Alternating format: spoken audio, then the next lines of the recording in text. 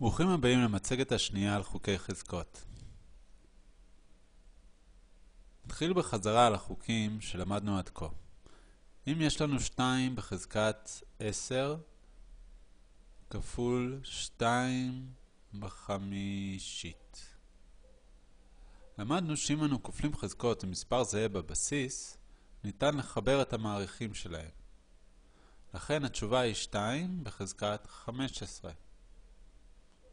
למדנו גם שאם זה היה 2 בחזקת 10 חלקי 2 בחמישית, נוכל פשוט לחסר את המעריכים, ולכן התשובה תהיה 2 בחזקת 10 מינוס 5, שזה שווה ל-2 בחמישית. בסוף המצגת האחרונה למדנו על קצה המזלג עיקרון חדש. מה קורה אם יש לנו 2 בחזקת 10, כל זה בחזקת 5. נזכר במה שלמדנו. כאשר אנחנו מעלים מספר בחזקת 5, זה כמו להגיד שזה 2 בחזקת 10 כפול 2 בחזקת 10 כפול 2 בחזקת 10 כפול 2 בחזקת 10 כפול 2 בחזקת 10, נכון? פשוט לקחנו את 2 בחזקת 10 והכפלנו בעצמו 5 פעמים. זו המשמעות של בחזקת 5. אנחנו יודעים כבר מהחוק הזה שאנו יכולים לחבר את המעריכים, כי הבסיס זהה. אז אם נחבר 10 ועוד 10 ועוד 10 ועוד 10 ועוד 10, מה נקבל? נכון מאוד, 2 בחזקת 50. אז למעשה עשינו פה, כפלנו 10 פי 5 כדי לקבל 50. זה החוק השלישי בחזקות שלמדנו. כאשר יש לנו חזקה המועלת בחזקה, ניתן להכפיל את המעריכים. נפתור עוד דוגמה. 3 בחזקת 7, וכל זה בחזקת מינוס 9. שוב, כל מה שנעשה זה להכפיל את ה-7 במינוס 9.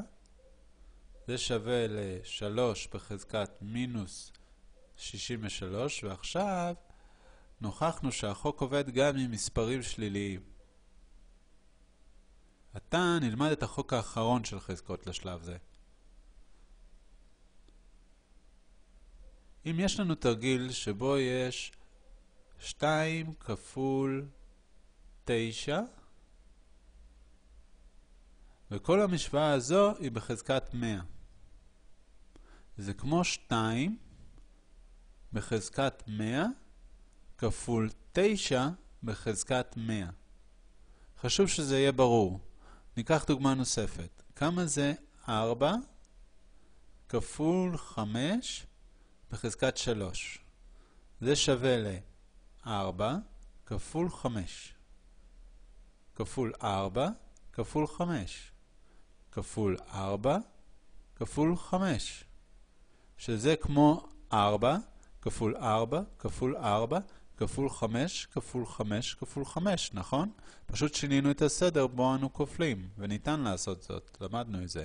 ננסח עכשיו את 4 כפול 4 כפול 4 כ-4 בשלישית, ואת 5 כפול 5 כפול 5 כ-5 בשלישית, וזה אמור להעביר לנו מדוע החוק הזה תקף. רבים מאיתנו שלמדו בפעם הראשונה חוקי חזקות, שכחו את החוקים ופתרו את ההוכחה מחדש. פתרון ההוכחה פשוט מאשר ומסביר לנו את החוק, ומעמיק לנו את ההבנה שלו. אז טוב שעשינו את זה. אולי כדאי שנסכם את החוקים קודם. אם יש לנו 2 בשביעית כפול 2 בשלישית, נחבר את המעריכים ונקבל 2 בחזקת 10. ואם יש לנו 2 בחזקת 7 חלקי 2 בחזקת 3, הפעם נחסיר את המעריכים ונקבל 2 ברביעית. ואם יש לנו 2 בחזקת 7, כל זה בחזקת 3, הפעם נכפיל את המעריכים ונקבל 2 בחזקת 21. ואם התרגיל הוא 2 כפול 7 בחזקת 3, זה יהיה שווה ל-2 בחזקת 3 כפול 7 בחזקת 3. עכשיו ננסה להשתמש בכל החוקים שלמדנו כדי לפתור תרגילים מורכבים שבהם צריך להשתמש בכמה חוקים יחדיו. בעיה אחת כזו כבר ראינו בסוף המצגת הקודמת. לדוגמה, שלוש בריבוע כפול תשע בשמינית ואת כל זה נעלה בחזקת מינוס שתיים. וואו. איך ניגש לבעיה כזו? למרות שלשלוש ולתשע יש בסיס שונה, ניתן לשכתב את תשע כחזקה של שלוש, נכון? תשע זה כמו שלוש בריבוע. נשכתב את תשע כך.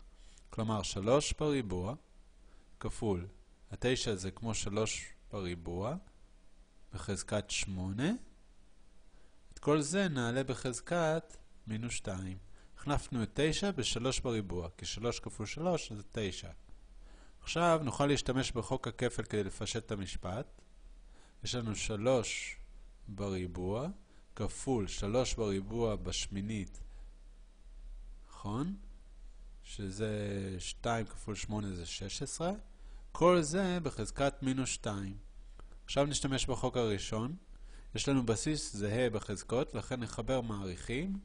זה שווה ל-3 בחזקת 18, ברור? כי זה 2 ועוד 16, וכל זה בחזקת מינוס 2. כמעט סיימנו. נשתמש שוב בחוק הכפל, לכן יהיה לנו 3 בחזקת 18 כפול מינוס 2, שווה ל-3 בחזקת מינוס 36. כלומר, למרות שהשאלה נראית מסובכת בהתחלה, אם זוכרים את המעט חוקים שלמדנו, רק צריך לזהות איפה אפשר לפשט את המשפט. כל התהליך דורש הפשטה בעזרת החוקים שלמדנו עד לשובה. אגב, סוד קטן, התרגילים בבחינות לרוב אינם כה מסובכים, לפחות לא בשלב הזה. אתם מוכנים לפתור לבד תרגילים?